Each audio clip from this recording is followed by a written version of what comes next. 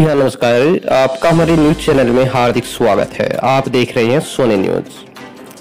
हरियाणा के मुख्यमंत्री मनोहर लाल खट्टर को सोशल मीडिया पर दी धमकी। आरोपी को किया गया गिरफ़्तार। आखिर क्या है मामला? वीडियो को शुरू से लेकर अंत तक ज़रूर देखिएगा। अगर आपने हमारे चैनल को सब्सक्राइब नहीं किया है तो अभी कर लीजिएगा ताकि हमारी आने वाली सभी अपडेट आप तक पहुँच सके। हरियाणा के जींद सदर थाना पुलिस ने जाट आरक्षण आंदोलन के दौरान फरवरी 2017 में भड़काऊ भाषण देने में वांछित तथा हाल ही में सोशल मीडिया पर मुख्यमंत्री मनोहर लाल को धमकी देने अभद्र भाषा का इस्तेमाल करने के आरोप में गिरफ़्तार कर अदालत में पेश किया, जहाँ से आरोपित को न्यायिक हिरासत में भेज दिया गया है।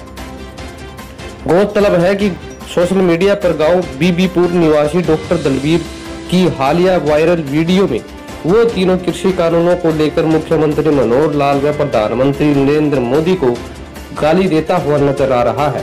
साथ ही बुरा अंजाम भुगतने की धमकी भी दे रहा था।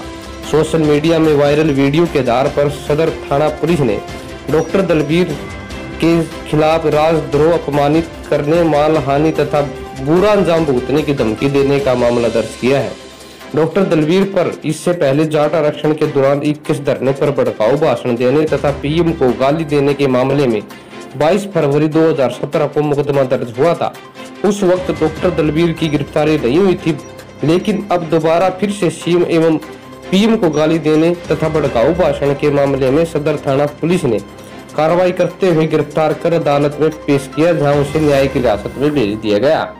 डीएसपी पुष्पा खत्री ने जानकारी दी कि 2017 में भी उन्होंने भड़काऊ भाषण दिया था, जिसमें गाली गलौज करने का मुकदमा दर्ज हुआ था। अब फिर से उन्होंने जुर्म किया है, जिसमें उन्होंने सोशल मीडिया पर धमकी दी गई है। आरोपित के खिलाफ राजद्रोह माल आने समेत कई धाराओं के तहत मुकदमा दर्ज कर गिरफ़्तार कर लिया गया है और उन्हें न्यायिक हिरासत में भेज दिया गया है। चैनल के साथ, धन्यवाद।